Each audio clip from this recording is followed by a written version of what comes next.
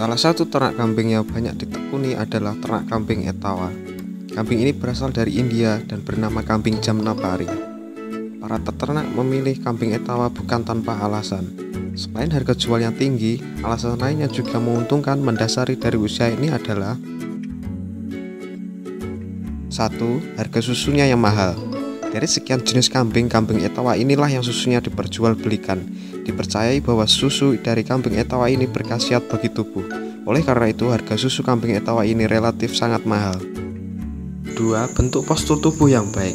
Kambing etawa memiliki postur tubuh yang tinggi dan besar.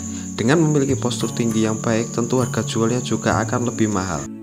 3. Lebih tahan terhadap penyakit. Kambing jenis ini juga lebih tahan terhadap penyakit dibanding dengan jenis kambing yang lainnya. Tentu hal ini juga sangat menguntungkan karena akan mampu mengurangi resiko yang ada. Untuk memulai ternak kambing etawa tidaklah sulit dan modalnya pun tergolong menengah. Cukup siapkan kandang dan siapkan modal untuk membeli indukan kambing etawa. Kemungkinan modal 10 juta sudah cukup untuk membuka usaha ternak ini.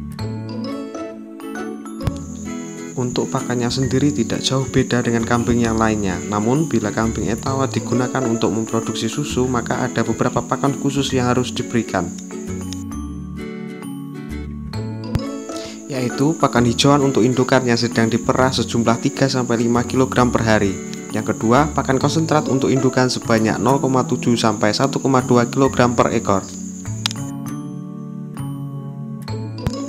Tambahan pakannya ketiga yaitu daun katuk, daun pepaya, dan kedelai satu gelas. Aduk secara bersama dan tumbuk sampai halus.